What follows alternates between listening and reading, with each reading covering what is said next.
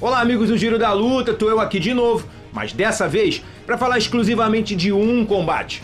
Vamos falar de Charles Oliveira versus Islam Makhachev, porque é nesse final de semana, sábado, e vamos ficar ligado no horário, porque o evento é em Abu Dhabi e vai acontecer lá no horário local, então sábado, de tardinha, mais ou menos na hora do almoço, a gente já vai ter o Ultimate Fight Championship 280.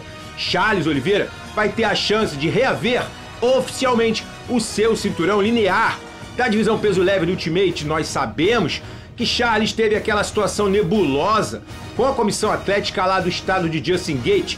Agora, nada mais justo do que Charles Oliveira chegando na Ilha da Luta, em Abu Dhabi, num evento muito midiático, para poder conquistar novamente o seu cinturão. A gente sabe da importância do cinturão do UFC e a gente quer ver Charlinho construindo o seu legado. Agora eu volto com vocês no estúdio. Charles Oliveira, sábado no UFC 280. Hey!